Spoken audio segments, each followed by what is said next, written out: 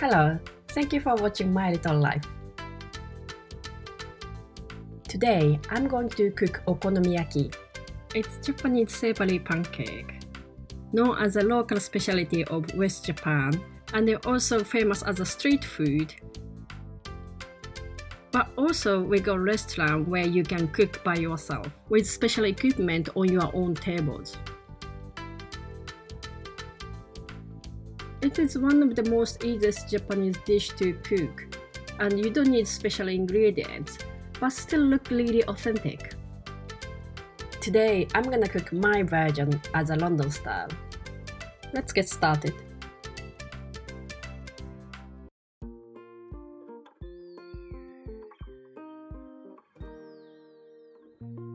Main ingredients are flour, egg, water, same as usual pancake. Also, I add dashi powder when I have. Dashi means broth. Basically, it's non-oil soup stock made from either fish or seaweed to give extra deep umami taste. If you are interested in, please check my other video about dashi. The link is on the below. And one other ingredient you can't miss is finely chopped cabbage. Okonomi means as you like. So other topping could be literally anything. Today, I'm gonna use broccoli, corn, and cheese. Also spring onion, which is almost every time you see in okonomiyaki anyway. Another things I recommend is either pork or fish or mixed together like this. Also, we have something like this. Put noodles into pancake and make a carbohydrate monster you can find this in some restaurant in London. Also, red pickled ginger will be nice accent. If you are already familiar with these, please try. Sauce is very important part. I'll introduce it after we cook pancake first. Firstly, prepare 100 gram flour, either cake flour or plain flour. Then sift This will help to create the perfect mixture of okonomiyaki. Then add dashi powder if you have, and one egg. Then add half a glass of water first, after little by little, to find out the perfect thickness of the mixture.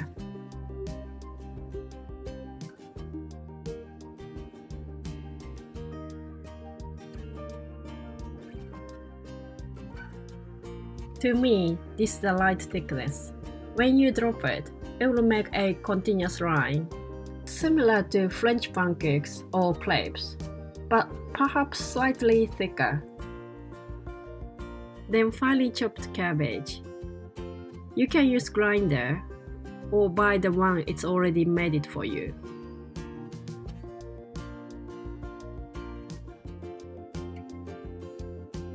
Now you add cabbage into the mixture. As you see, we put quite a lot.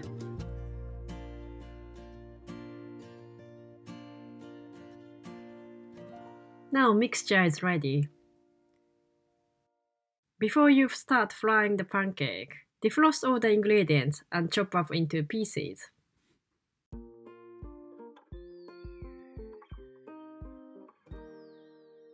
Now let's start frying the pancake. Put a little oil in the pan, then heat it up.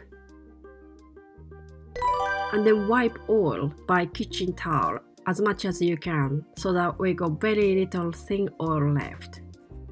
This is how restaurant does. Then you put onto the wet cloth like this. This makes pan's temperature right.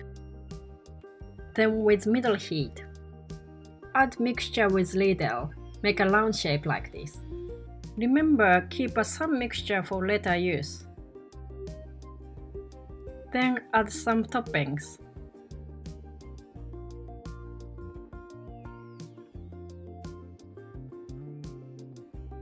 Fry 2 to 3 minutes till bottom is getting ready to turn over. when edge of pancake is getting different color, which means almost ready to turn. Now you add leftover. This is to avoid all the toppings stick on the pan.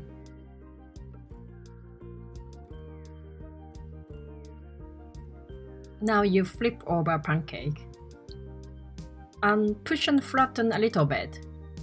This is the way how we do in Japan. Then you put the lid on it to make pancake nice and fluffy.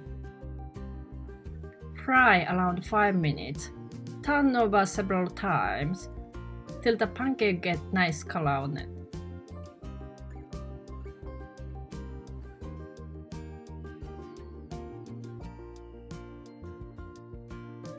Usually, I poke with skewer if watery mixture doesn't come out, which means it's ready to eat. That's it. For serving, I recommend this. Nation loved funny face, otafuku sauce. I really think people love okonomiyaki because of taste of the sauce, so it's worth to try the authentic product. Or you can just use barbecue sauce brown sauce to make it more Japanesey. Add a bit of soy sauce or oyster sauce or ketchup if you like. Find the taste and balance you like.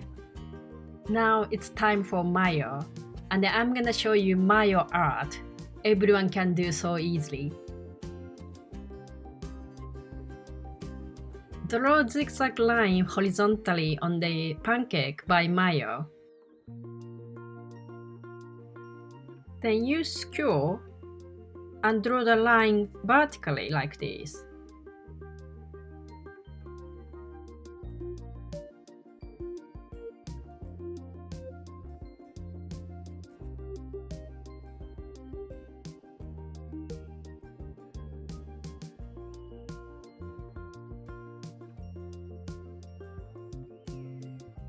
Finally, you sprinkle on the aonori seaweed powder. It's not mandatory, but it gives nice color, also slightest bitter flavor on it. Bonito flake is another must in Japan, but I think we can skip it.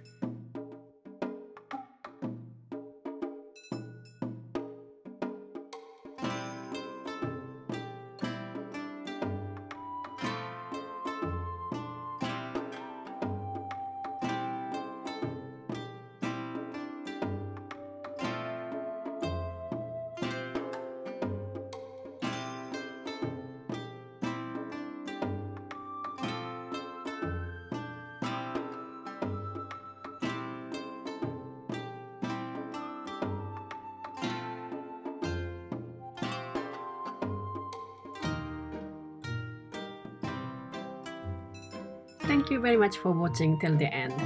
I hope you enjoyed it. If you have a question about this video or Japanese food, please comment on below. Also, if you enjoyed this video, please subscribe my channel. Also, enjoy other videos. See you next time and have a good day.